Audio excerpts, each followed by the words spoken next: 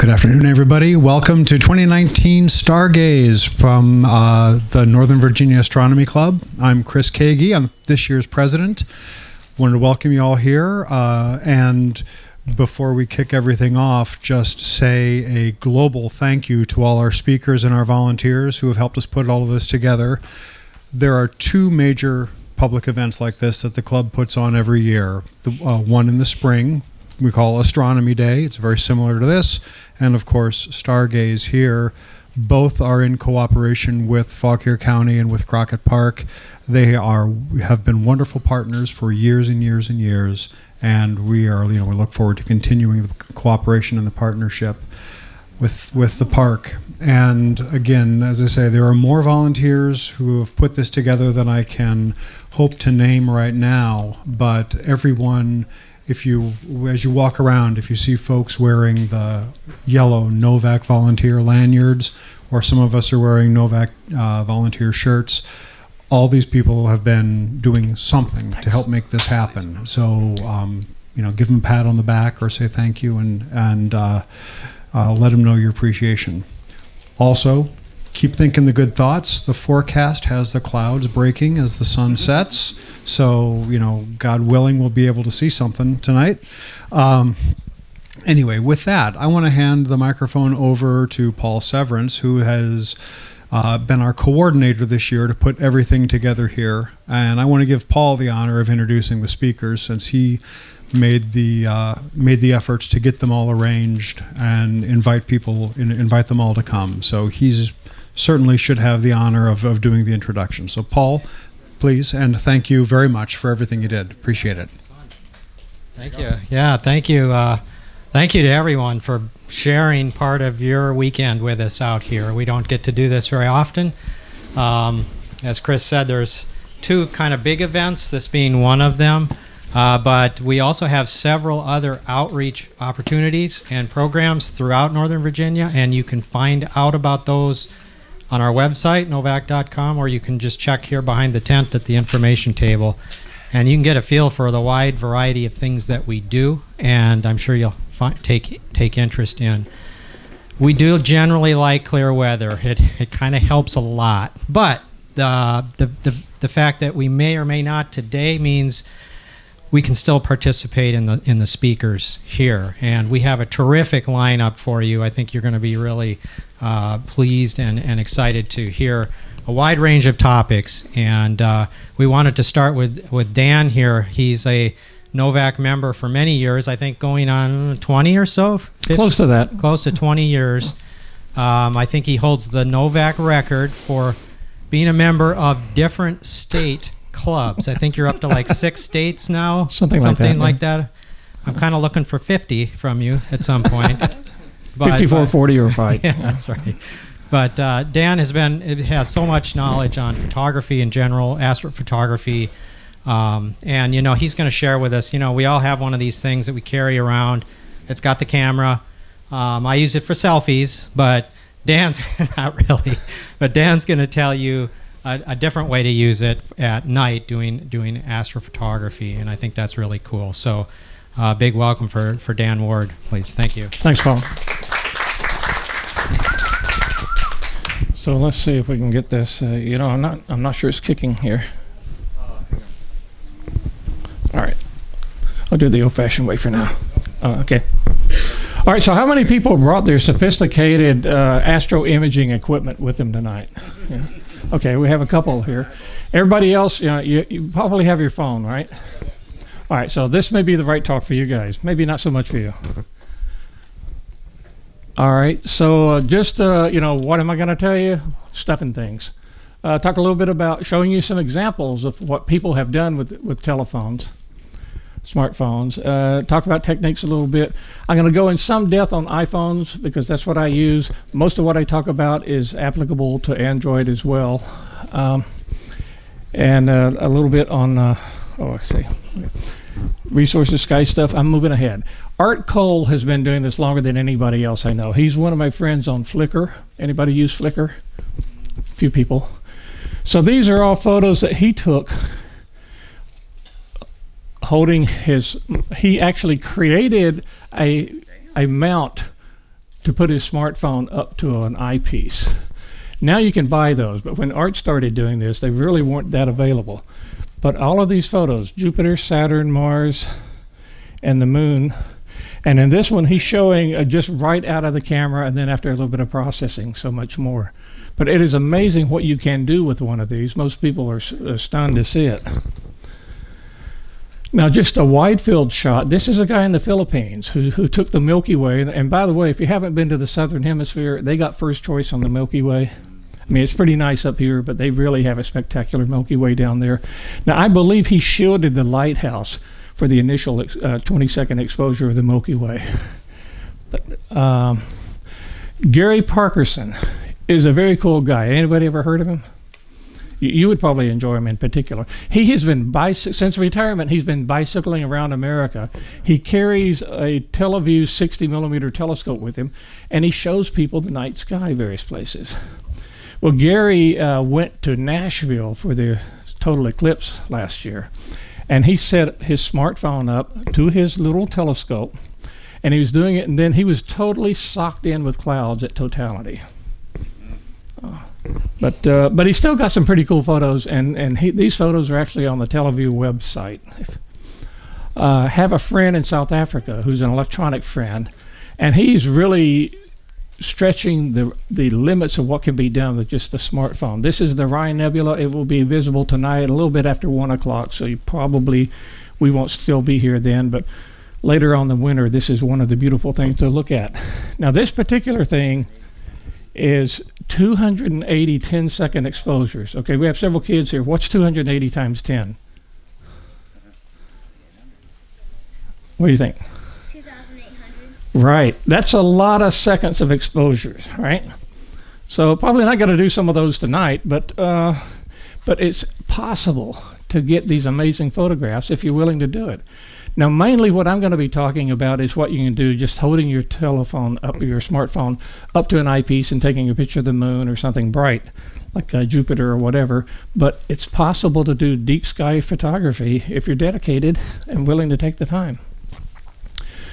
Now, I took this picture with a I often use a, a, smartphone 6S. That's not my main phone, but I use it just for de demonstrations and such.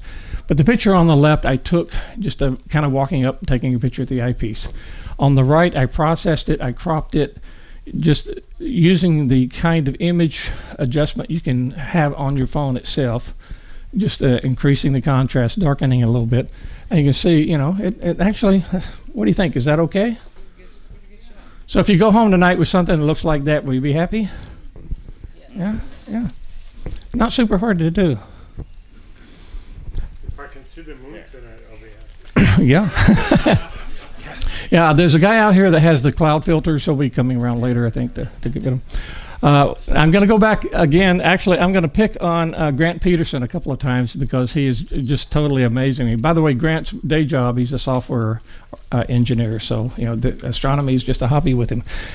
That is a manual telescope. That is a, a Dobsonian telescope. It doesn't track the sky. You push it to keep up with the sky. He he does other photos using a tracking one, but he took that picture of the occultation of Saturn by the moon using that.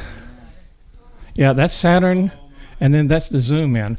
Now, you have to be in the right place at the right time to see that. And it's been happening uh, several times in the southern hemisphere lately. We'll get our shot at it later, but but but it just amazes me. He stacked the, several photos because you need a different exposure to get Saturn than you do to get the bright moon. But uh, pretty cool, huh? Yeah. Anybody be happy to take that tonight? Yeah, me too.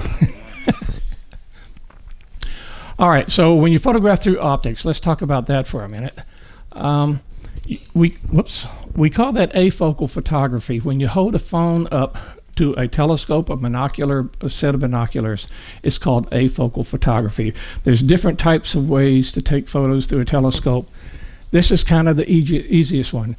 If you look on the internet, you'll see some people, I'm sorry, am I in your way? Some people will call it digiscoping. That's because they have products they want to sell and they wanted a different name to use for it. But, uh, but it's possible to do a pretty good job. And anything we're talking about today on the afocal photography could be done with a telescope, a monocular, binocular. It's, it's, it's possible.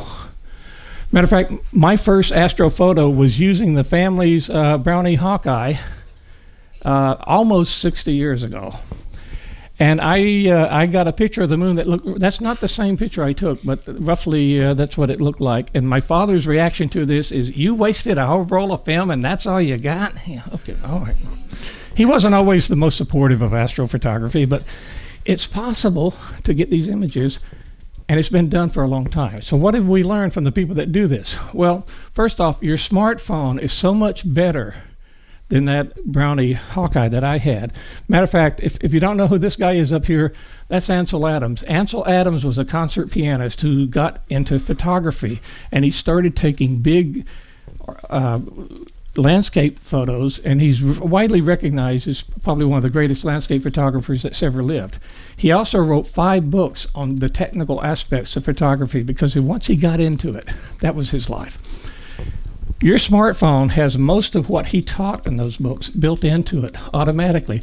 So when you press the button on the on your camera, it's actually got all this wisdom built into it.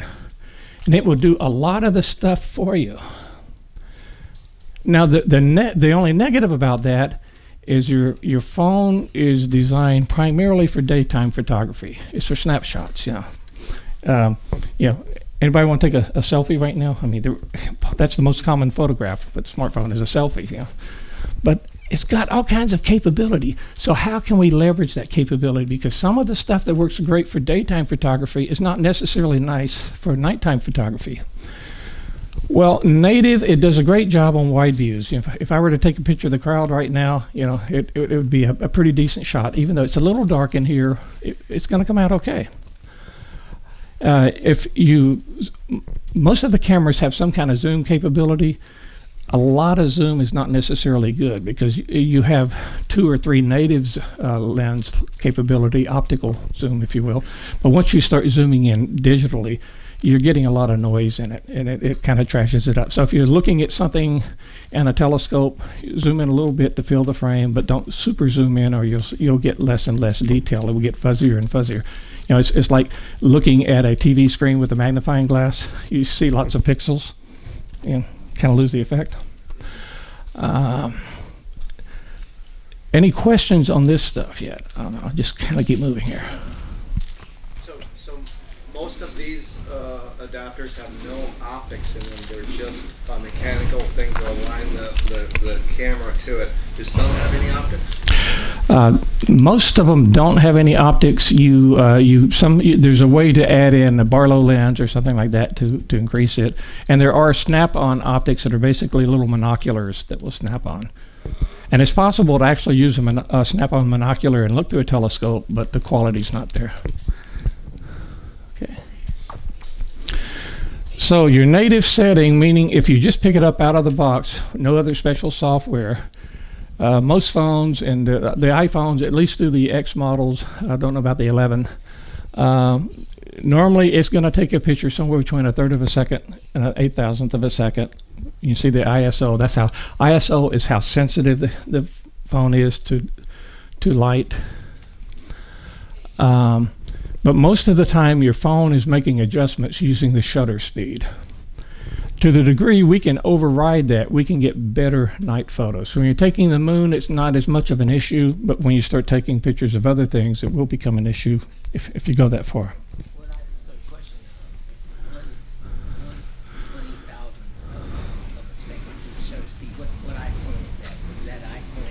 Uh, the eight, the eight has. The question was what iPhone has uh, eight thousandth of a Second, the iPhone 8s and later have that, or even more, I think, with the, the latest one. Any other questions? Thanks. But for astrophotography, slow you can right. Yeah, you, you won't you won't slow rather than fast for astrophotography. 20 seconds. Yep.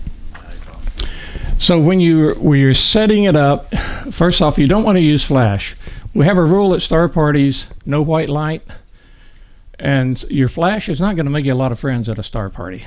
Plus, it's not going to, you know, the moon is 280,000 miles away roughly, uh, flash isn't going to do a whole lot there. You know, and everything else in the sky is a lot further than the moon. So, you know, your flash is it's not going to help anything on the photo, and it's going to annoy the people around you that are you know trying to look in the dark. So, if you can turn the flash off, that's cool. Rear camera, rear camera is great for selfies, but you want to be shooting the back the back side of the camera, not the rear side of the camera. You you get the maximum resolution that way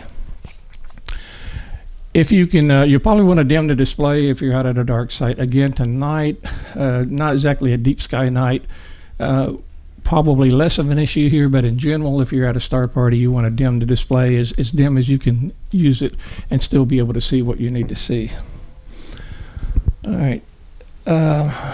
I'm not going to go through each of these because I know people want to do other things here too, but um, the video frame rate, if you decide to do video, uh, then you should uh, use the faster frame rate, uh, at least 30 frames per second. Uh, most cameras these days, phones have the 60 frames per second. And feel free to take pictures of any of these if you want to.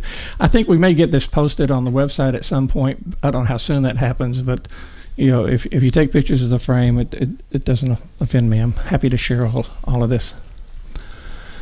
All right, so question came up earlier. Can you do it just handheld as opposed to using a bracket? Yeah, you can. Yeah. But it, it, it kind of wiggles, right? So if you really want to get a good result, so we're holding our phone, right? And uh, we have to hold this parallel to the eyepiece, you know, and we need to keep it still. And we don't want to jiggle the telescope because, especially some of the Dobsonian telescopes, you push the camera, uh, the phone against the telescope, you move it off the object that you were just looking at. And you know what fun is that? Uh, don't be careful when you're doing that. Don't put your fingers on the eyepiece. You know, some of these eyepieces are fairly expensive. Even the ones that are not fairly expensive, uh, peanut butter and jelly fingerprints don't do a thing for it. I had a kid pour some apple cider on one of my eyepieces. It did not enhance the view one little bit. Um, but if you think of uh, if if you're into aviation, yaw, pitch, and roll, you know you're very familiar with those concepts. Um, the phone you have three dimensions that you're working with here, and holding the phone steady is is not impossible, but it's not easy for most people. Okay, any kind of vibration is not your friend when you're taking photos. So pitch is up and down, yaw is left to right, and roll all of those will get you a blurrier photo than if you can keep it parallel to the eyepiece, perpendicular to the line, optical line. Is this making sense? Yeah. So you can do it handheld, but there are things to make it easier. And holding is a good thing in astronomy. Maybe not so much in football, depending on which team you're rooting for. We had some people arguing about that earlier. Uh, okay, you can do it with rubber bands. Okay, that's about as cheap as it comes. There are inexpensive phone mounts, and I have a couple of examples here after the talk if somebody wants to take a look at it. And then there are very custom mounts that, that will run in the neighborhood of 80 to $100. So the good news is you can spend as much money as you want to on this. The good news is you can also do it very cheap. And you can just hand hold it. It's just you have to work a little bit harder to hand hold it and get good results. So I, I didn't see John Soika here earlier. I don't know if he's here yet or, or not, but he's he has a really good talk on more advanced, more sophisticated astrophotography using a smartphone, and it's on the uh, NOVAC uh, YouTube channel. But it is he really gets into some of the more sophisticated software and techniques for that. I'm I'm keeping this more for a broad general audience. Uh, but you know, John is much very much a fan of using the the rubber bands that that works. Uh, it it doesn't work as well for me. I'm older than John. You know. Some of the examples, and I have uh, all three of these up. Well, I, actually, I don't have the next. The Celestron NexYZ just recently came out, but the other two, the, the TeleVue is probably the most expensive, sophisticated one, but it only works with certain TeleVue eyepieces, but it screws right into it. It's about as snug as it, you can get and uh, it, it's kind of once you get it set up and aligned, you can do photography uh, all night long, whatever you want to do. Uh, the Orion SteadyPix will fit a variety of eyepieces, so you don't have the issue of being stuck with just uh, TeleVue eyepieces. But it's fairly expensive, but it's uh, fairly sophisticated. The Nex YZ is, I like I said, it just came out. I haven't actually seen one in use yet, but it, it's cheaper than the other two. And then if you just want to take the wide field shots, you know, there's all kinds of things. Uh, the, the Manfrotto thing, uh, it's great for selfies. My one of my daughters uses these. Uh, the iStabilizer, I've seen these in like, you know, five and below stores. It's, it's a nice way to set your camera up. You can set it on the timer and, and get a nice group shot. But of course, at the end, yeah, you can just cut a cup. Uh, and if you have a poppet, a poppet actually will you know hold your phone up. Okay, anybody use those? You know what I'm talking about? Okay, it's, it's a little uh, dial that sits on the back that pops out, and it will it will prop your phone up.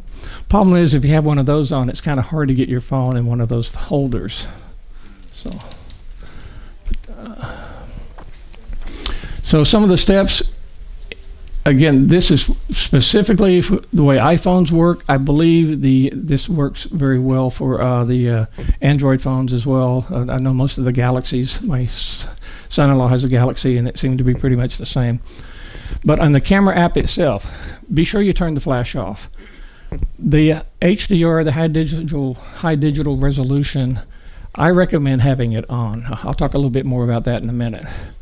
If you have a timer, I recommend turning it off. And it seems like you might want the timer, but the problem with the timers is it flashes the LED light with the countdown. And again, flashing a white light at a star party is not a popular thing to do. You're messing up people's night vision. Uh, if you go out at, uh, under a night sky, it takes 30 seconds for your eyes to begin to adjust to the night vision, but it takes at least 30 minutes before they really truly adjust to, to night vision. Any white light starts that count all over again. So that's why people don't like to see white light at a star party because you want to be able to see better in the dark. Okay. Um, if the adjust pops up, I always say uh, original. I don't want some kind of grunge effect when I'm taking a picture of the moon. I mean, maybe later I want to do that effect on it, but but not right out of the box, you know. Uh, the square format. I'm taking a picture of a round eyepiece.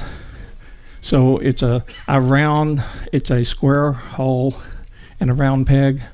That makes more sense than a big rectangle. So, but it doesn't matter. You can use whatever you're used to with your phone, but a square portrait is less wasteful of space around the picture that you don't need. Uh, there's a yellow box for the auto, auto exposure, autofocus. If you hold your finger down on that, it will lock it. If you don't, you may find it jumping around, so it's easier to lock it. And once you have it locked, you can swipe up and down to adjust the brightness of the image, the auto exposure. And that will give you a, a better moon picture in particular if you can adjust it down. Is making sense? Okay.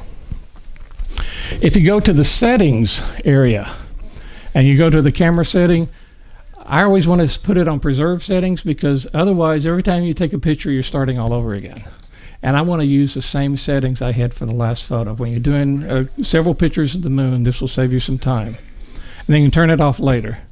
Uh, the auto HDR, if you turn that on, it will always take an HDR photo. If you don't turn it on, the, the phone will decide whether or not you need one.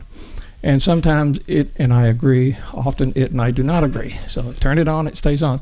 Now, in HDR what that really means, without getting into the technical aspects of it, is it takes one photo that's underexposed, one photo that's normally exposed, according, according to what the phone thinks should be a, a good exposure, and one that's overexposed, and then it merges those three photos to try to get the maximum quality out of the image. Usually, an HDR photo will be better than just a native one. If you say keep normal, it will save the native, the normal photo, and the HDR photo. That way, if sometimes HDR doesn't make it a better image, and this way you'll have both. If you have uh, issues with the memory on your phone, then, then don't save it. And uh, while you're at it, if you're going to do video later, just check and make sure it's at least 30 second, uh, frames per second. Okay. All right. I think I, I probably explained all of this, but again, when when you're looking at your phone and you you'll see the screen for the focus. You center that where you want the focus to be. You want your focus at an infinity. It's usually going to do that. Um, automatically. But if then hold it down so you lock it so the focus isn't zooming in and out and getting weird on you. And then you can swipe your finger up and down to adjust the, the exposures, the brightness of the image. And it will stay locked until you either take a picture or you exit the, that, the camera. Is this making sense? Okay. If uh, if you have a plug-in headphone or even the, your camera, your phones will use the volume control as a shutter release as well as the shutter button. So you know you have that big red button for your camera. The volume will also take a picture. That's almost all phones have it set up that way. If you plug in a headphone, your volume control on the headphone will do that. Bluetooth headphones are supposed to do that as well. Mine don't. I have Beats headphones. The volume control does not take pictures. You might if you try that, but it's a way of taking a picture without putting your your, your fingers on it. But they also have these little Bluetooth shutter releases that you can get for about ten bucks or less on uh, Amazon, and that's one in the upper uh, right there. So that's another way to to take the picture without having to put your finger on the phone and possibly moving it or dislodging it. Making sense?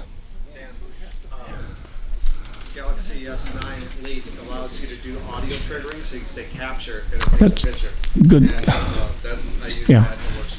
Yeah, that's that's a that's a good point. I don't know if the new iPhone does that or not, but the w- version I have didn't have that. But uh, audio. So, just repeating, uh, so, uh, some phones have audio triggers, so you can say snap or whatever, you know, and it will take the picture then.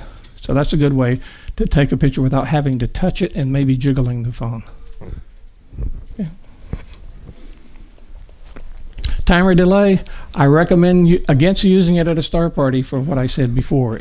It's going to blink the countdown, and that white light is not going to make you any friends at a star party. Um, the timer delay will take 10 identical photos unless you have it set on HDR or you have the flash turned on, that it will only take one. But my recommendation again for astronomy is, is to not use the uh, timer.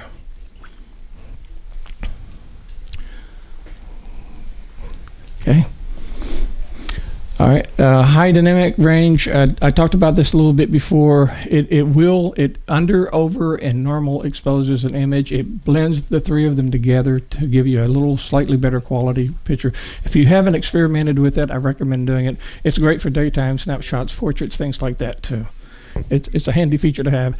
Doesn't work in every circumstance. That's why when I take one of those, I always save the regular picture too, which you can get from the other setting and it will override the, the, if you're using HDR with a timer, it will override the 10 shot. It will not override the LED blinking countdown. So again, I don't recommend using the timer at a star party, but the, but the HDR I do. There are some phone apps that give you much more control so that your smartphone will be more like a 35 millimeter or a high uh, single lens reflex or a more sophisticated camera.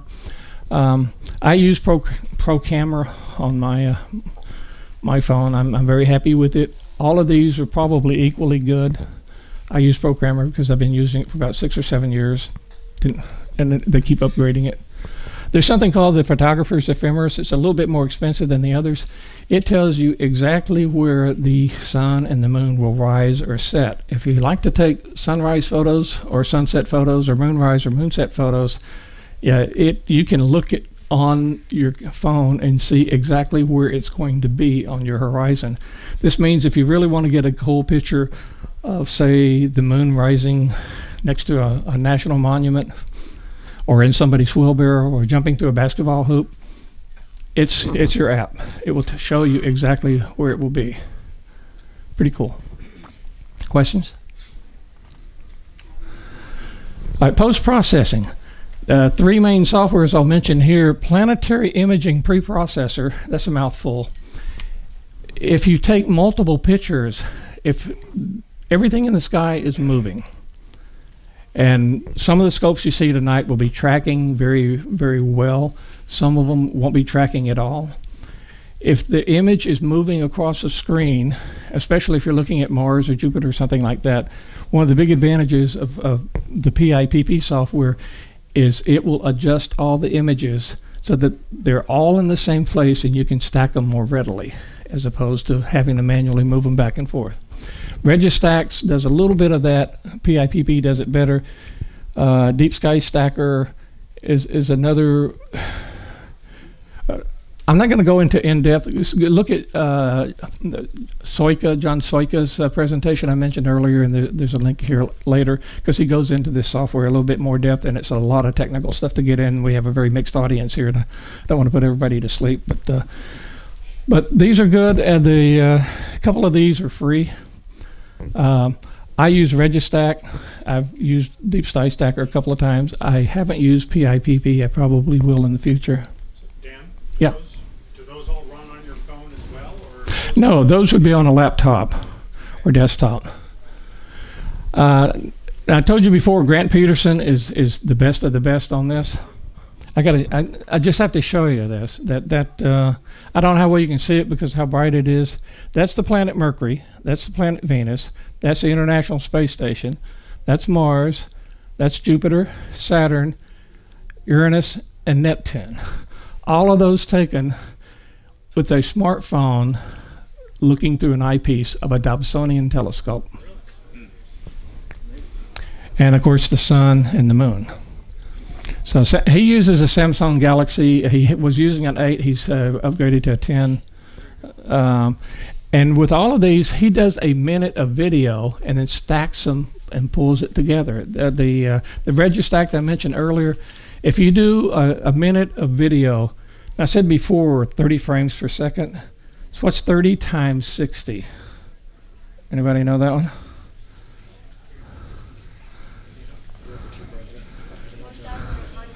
One thousand eight hundred.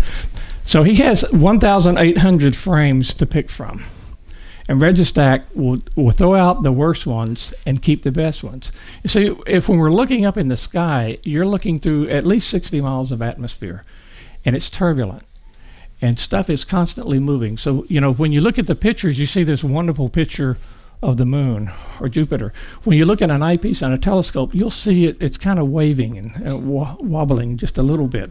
And that's because of all the atmospheric motion going on. If you have 1800 frames, you have some, some lots of little frames there where the seeing was absolutely perfect, and a bunch where it wasn't. The software will, will toss out the less beautiful frames, if you will, and stack the ones that were very good, and then it adds it all together to give you a much finer image. So that's the advantage of doing video. But again, if you're taking pictures of planets, things like that, it's really good. With the moon, it's help, helpful, but you, again, you can get a good snapshot of the moon just taking your phone and uh, snapping it through the eyepiece. You can get a much better picture when you start doing stacking. And this is the gear I asked. I asked Grant the other day. Uh, by the way, he's on Twitter. If you're a Twitter person, you can follow him. Um, but this is his main gear. Celestron XL eyepiece. It's a nice eyepiece. Shorty Barlow, the question earlier about something in between. And basically, he's using this device to hold his phone. The eyepiece is mounted onto here. And in that case, he's using a Barlow to increase the, the power, if you will, of the eyepiece through his telescope. But uh, this is about as simple as it gets. This particular device is uh, Solomark, uh, $16. This one, which I prefer to use, the Tele Vue, $100. Has the same function. This is a little bit more stable. This works. How to get the ISS shot? That, that thing, that thing works. Yeah, I'm. I don't know the details on that. I'm assuming he probably caught it either getting close to or away from the moon, and just took a, a lot of videos and probably integrated a few of them for that. Yeah. And uh, when I shoot ISS, I've always shot videos of it, and I've gotten a couple of transits across the moon that way. But uh, I did want to mention uh, next month on Veterans Day, November 11th, we have a very unique uh, opportunity. The planet Mercury is going to transit across the sun. Now, what that means is our orbits are aligned to such a degree that uh, occasionally, every so many years, the Mercury passes between us and the sun. Now, when the moon passes between us and the sun, we get an eclipse. When Mercury passes in front of the sun, it's way too far away for us to get an eclipse. So what we get is a transit. The same thing happens with Venus. It's not going to happen again with Venus for a couple, for a hundred and something years. We had a nice one a few years ago. Mercury, we had a nice transit on in 2016. We have this next one coming up on uh, Veterans Day, and then it's not going to happen in Northern Virginia until uh, 2032. So, Veterans Day is a holiday. So, if you're not working, if you're not in school, Fairfax County Parks Department has a public observing session set up at the uh, Great Falls uh, Turner Farm Observatory Park. Uh, the the uh, transit starts at seven o'clock. Yes. You can use eclipse glasses, but Mercury's so small, you you have to have a telescope to see it. It's just a tiny dot. You need the filter in front of whatever you're shooting, not not behind it. But but yeah, yeah. So so if uh, I've seen people that took take uh, the uh, eclipse glasses and put them over, you know, like a mon- binocular, monocular, or something like that. As long as you've you know you, yeah, you don't want to look directly at the sun. Our eyes are too expensive. Yeah, and uh, actually, this device on the left, uh, one of the one of the NOVAC members, this is called a sun spotter, and it projects the sun down and, and gets a ball that's about uh, 10 inches in diameter. That's a pretty cool way to see it too. Uh, and he'll be at the uh, Analemma event in Great Falls. I just wanted to mention that because that's a very cool event. Right? And it's not going to happen again until 2032. I know you want to go ahead and plan ahead for 2032, but just in case, you might want to make this one next month. Okay, this I know this is an eye chart. There's a lot of more details up here. Uh, mentioned the uh, the transit. The next lunar eclipse in North America will be on January 10th, so a few months ahead. It's a penumbral lunar eclipse. That is not as cool as the one we just had a few months uh, back in January, but you will notice some darkening of the moon. You want to look at that. The next uh, solar eclipse is in South America. So Argentina, Chile, Polynesian cruises. Uh, that's on December next year. If you want to go to that, my wife and I are willing to go with you and, and talk to you about it. Just just let me know. Just buy our tickets and we'll be there. the next lunar eclipse, full lunar eclipse, is uh, is May 2021. And I did want to mention that uh, there are meteor showers throughout the year. The best one year after year is the Perseids. That's always around August 12th, 13th. Um, so if you want to try to catch some meteors, that, that's always a good one that you can count on. Some of the others you can't always count on being quite as good. There's some other links here. Uh, here's a, the link from NOVAC. Here's a thing for uh, the Turner Farm events, uh, Analemma Society, which is another group. The smartphone astrophotography, John Soika's presentation. Got the link here. Uh, there's a really good astronomy club in Laurel, Maryland. Unfortunately, there's not a good astronomy shop in uh, in Northern Virginia anymore. But uh, he's got all kinds of cool stuff there. Online Orion telescopes. Uh, Naval Observatory has a lot of good astronomy related stuff.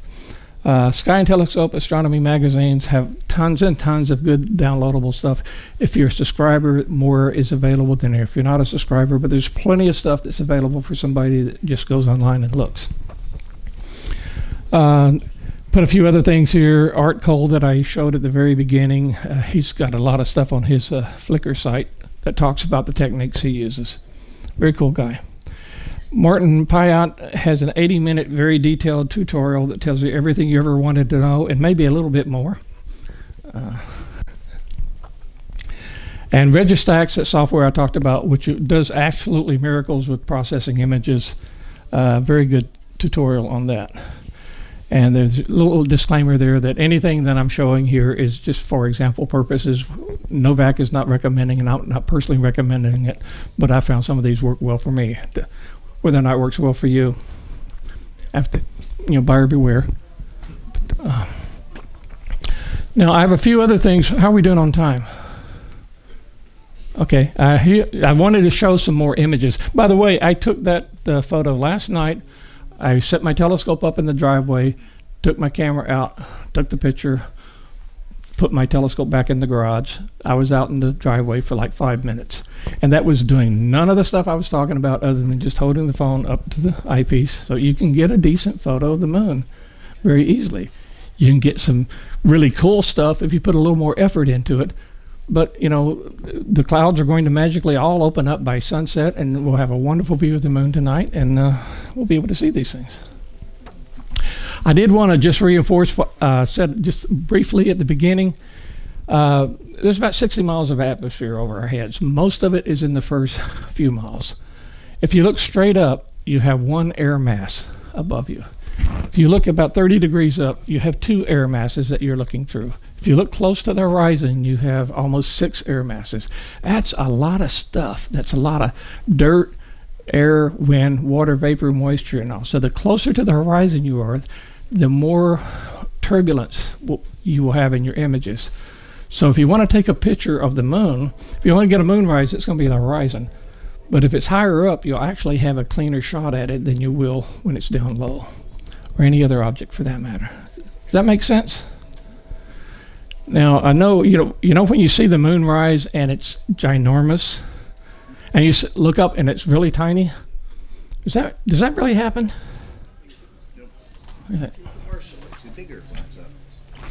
So if if you will extend your arm and hold up your little finger, you'll see when the moon's at the horizon, it's the same size as your little fingernail for most people. And when it, you look up over your head, it's the same size as your little fingernail. It's it's an optical illusion because you see stuff on the horizon that makes it seem to be much bigger. So you know, try that because you shouldn't believe it. Don't don't take my word for it. I might be trying to sell you something. Look and see if it works.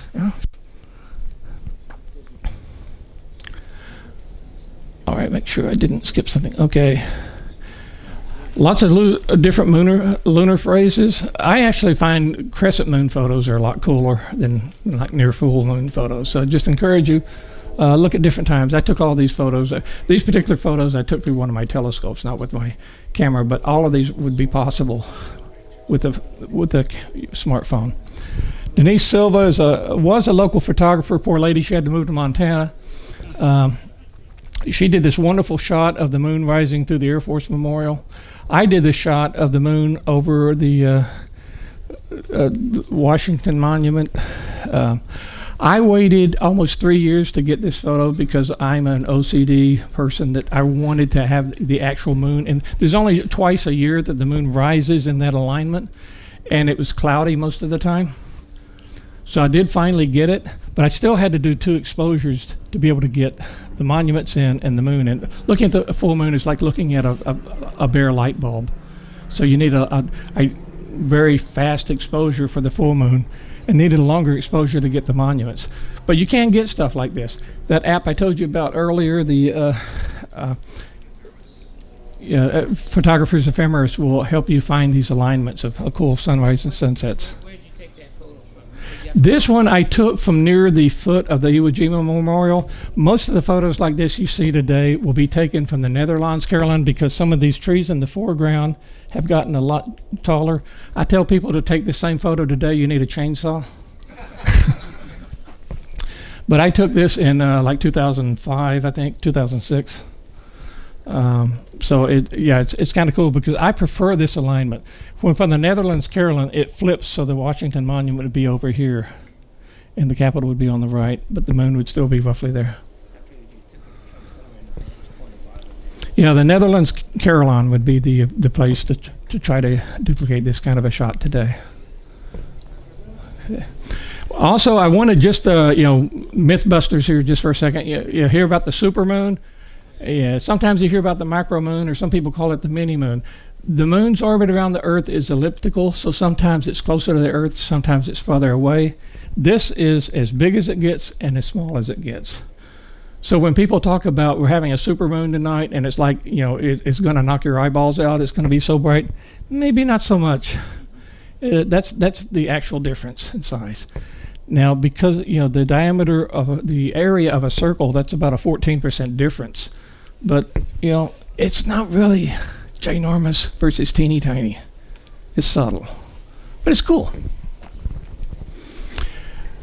Did anybody observe the lunar eclipse back in January? It was really cold, wasn't it? I, I spent five hours out in my driveway to get these these photos of it. And right right after I snapped this particular image, a fox ran right next to me. I'd been sitting still for so long, you know, and it just ran past me. That was pretty cool, you know. But of course, I don't use white light, no flash, so I couldn't take a picture of the fox. You know. Uh, by the way, this this is uh, on the Tele Vue website. again, the next uh, penumbral partial lunar eclipse is January. Next total one like this would be May of 2021. Cool. Okay, Jupiter. We will see Jupiter tonight at about 7:30. The uh, all four moons of Jupiter will be visible when it first gets dark. At about 7:30 tonight, the moon Io will drift behind Jupiter. So that's kind of cool to see as it gets closer. When they go in front of Jupiter, you actually see the shadow of a moon going in front, like like you do. That's the shadow. That's the actual moon. It's kind of cool because there's always stuff happening on Jupiter with the, the four largest moons orbiting it. Uh, Saturn will be visible early tonight. I, I think it sinks, uh, sets pretty quickly, but it is gorgeous. If you've never seen Saturn to a telescope, you owe it to yourself to see it. It's very, they're both very cool. Just mentioning meteors is interesting. This photo is, is, is out on the internet. is a Perseid meteor shower at Stonehenge. Those are not actually meteors. That is a star trail photo. So the photographer that made this was making a very beautiful picture of Stonehenge to advertise the meteor shower. But as you see, all of these are actually moving in the same direction and the same length. Meteor shower would not look like that, but it's still a cool picture. But you can take pictures of a meteor shower with your phone. Normally, you're only going to get one or two streaks. Okay, questions? Star Trail photos are cool. There are apps that will make even cooler Star Trail photos than your phone will take because they'll just make it look like that. Okay, well that's that's fine. You know, if you want something that looks cool, uh, Denise Silva, who had done the the moonrise at the Air Force Memorial, she she did this one, and those really are true Star Trails. And she did not have the light on in her tent until after she had the Star Trail photos, because otherwise that would have just been burned out. But uh, she stacked uh, quite a uh, uh 100 minute, uh, four minute exposures for this. So she was, you know, working hard at. By the way, she does workshops on aurora photography that are just amazing. That's not a cell phone. That's. Uh, no, that was a, one of her. That was a Canon actually. But it is possible to do those. there's several. there's some YouTube links on how to do that.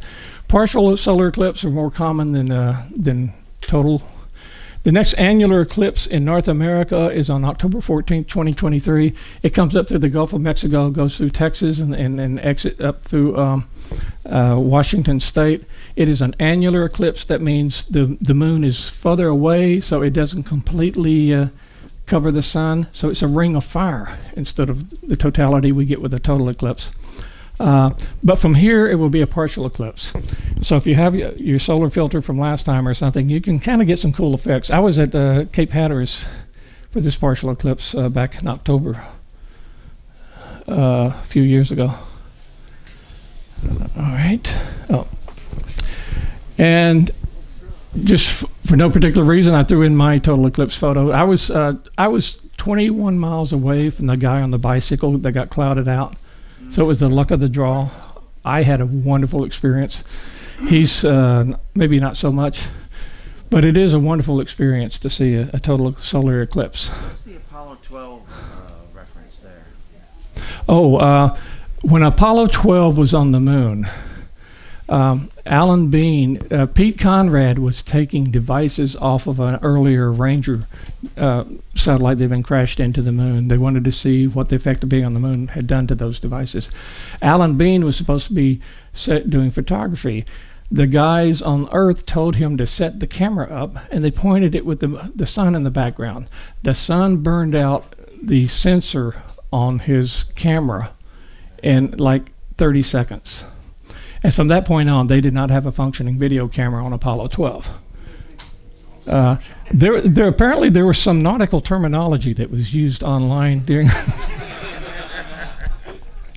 I met Alan Bean a few years ago, and he still doesn't want to talk about it, even though it wasn't his fault. He was doing exactly what ground control was telling him to do. But, but if you point your camera towards the sun, you can damage the the sensors.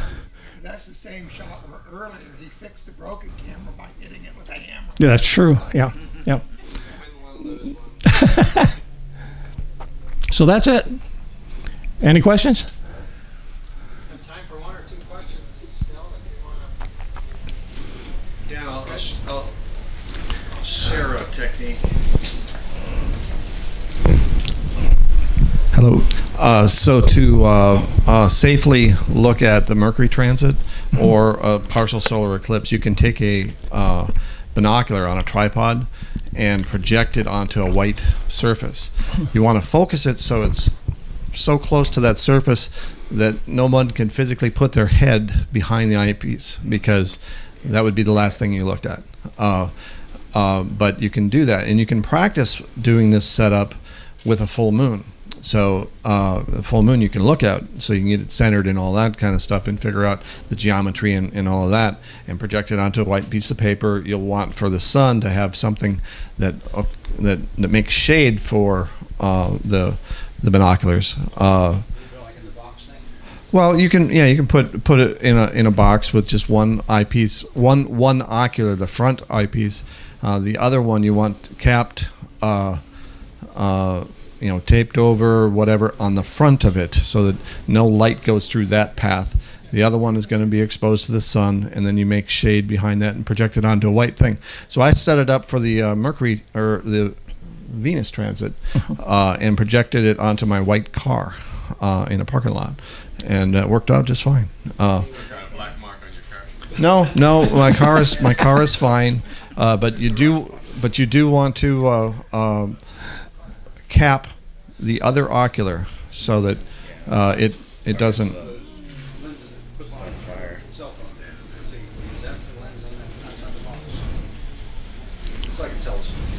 Yes, there, there are other projection techniques, but uh, everybody's got binoculars. Everybody has a tripod. So Yeah. But but to your point, uh, I mean, you know, those those clip-on lenses are, are like this binocular, so yeah, you could use that for projection as well. Okay. Thank you.